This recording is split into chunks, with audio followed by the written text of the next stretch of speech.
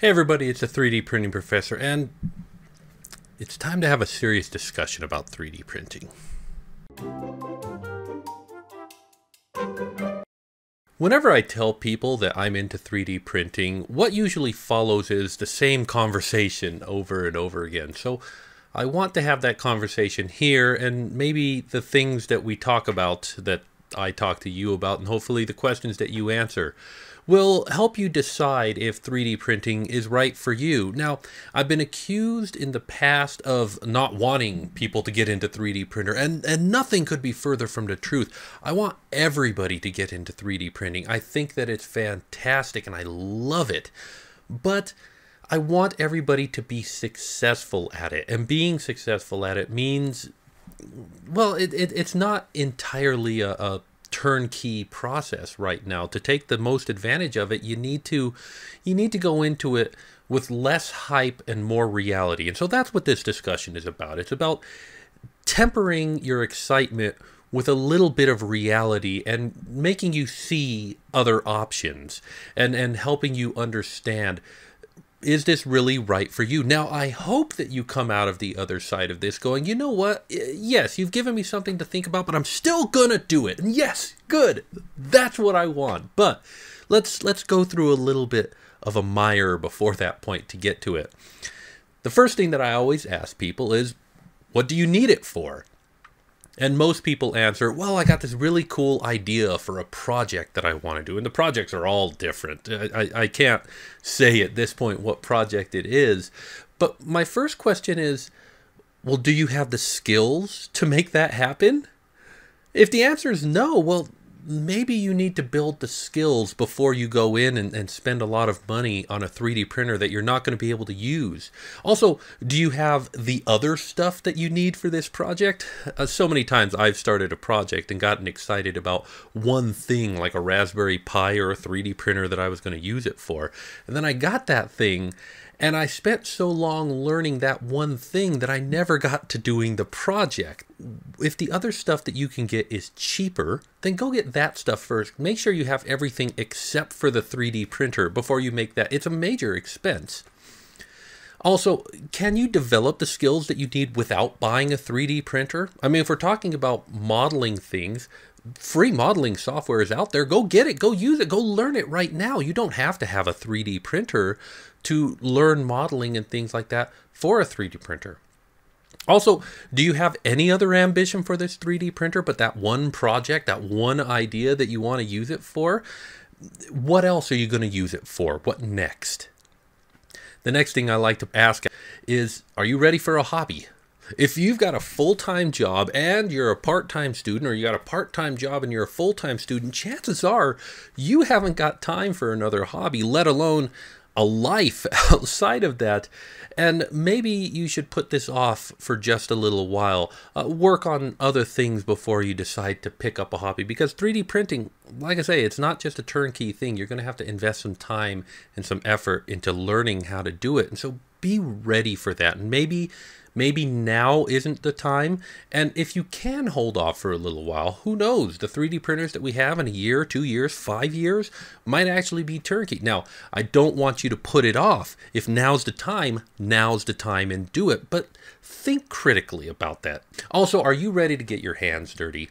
Most 3D printers, even even this new 3D printer that I got, uh, they fall apart. Things break, and you've got to fix them every once in a while. And that that becomes more true as the price goes down. The cheaper the 3D printer right now, the more likely that you're going to have to fix it. So be ready for that. And not just do you want to be a tinker, do you tinker with stuff? Do you pull things apart and, and look at things? Have do you already own a soldering iron or a, a set of Allen wrenches, a set of tools to do things with? If not, well, maybe, again, that's something else that you can work on before you make the major expense of a 3D printer.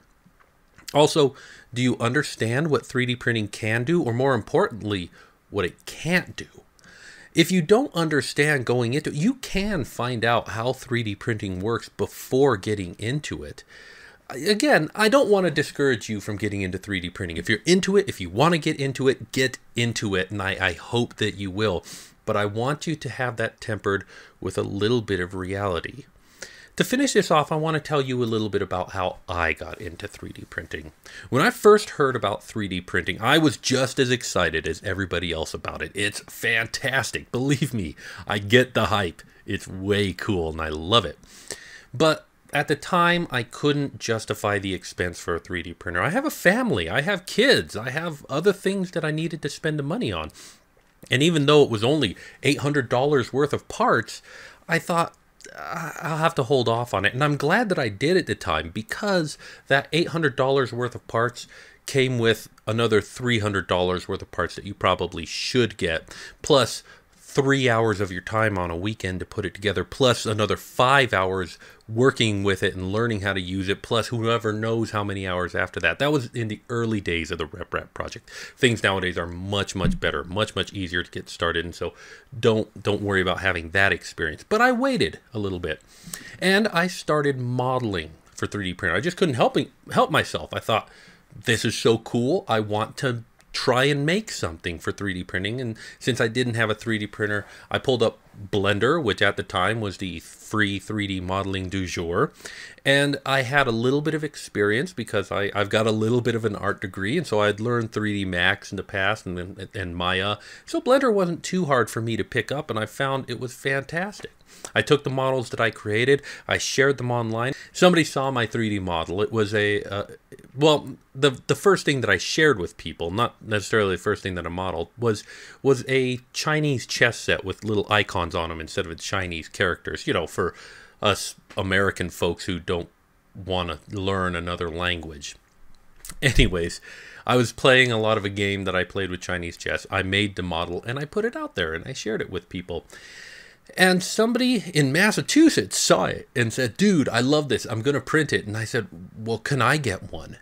And he quoted me a price for it, and it was a little bit higher than I would have liked to have play, paid for a, a Chinese chess set. But he had the 3D printer, and it was a custom job, so I said, All right, I'll do it. And the first time that I held in my hand something that had been made by a computer based off a design that I created, my fate was sealed. It was all over. I entered several contests. I finally won a 3D printer, and here I am today 3D printing. But I didn't jump into it from the hype. I took my time. I learned slowly what to expect and, and what was going to happen. And that way I came into it with a much better, much more realistic expectation. In fact, that first model that I made had some things with it that when I looked at I said, oh, I'm going to have to adjust my model. And that's the way it happens with 3D printing. You make something, you look at the result, and you learn how to 3D print better from that. You make the walls too thin, you learn about wall thickness and things like that. Just great lessons that you're not going to learn any other way than by doing. And so I recommend you start by doing and then get it 3D printed. And you don't necessarily have to own a 3D printer to do that. In fact, that's what we'll talk about next time. How would you 3D print if you didn't have a 3D printer? Anyways, I hope to see you there. I hope that you're enjoying this series of videos. And if you are, I hope that you'll support me. And I'll see you next time.